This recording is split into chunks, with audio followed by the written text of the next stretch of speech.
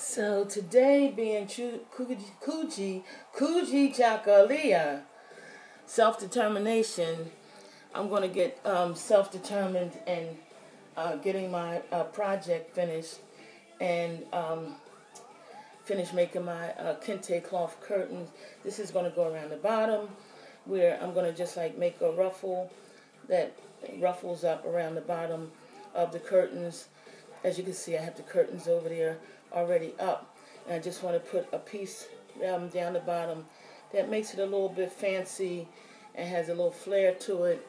And um, then I can honestly say that um, I'll be proud of it.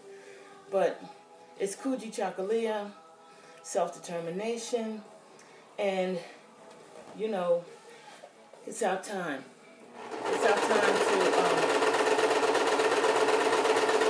get done, take leadership, do what gotta do. And that's about the size of it, you know. All we gotta do is stay unified. It's gonna take some work, but, you know, what doesn't take work?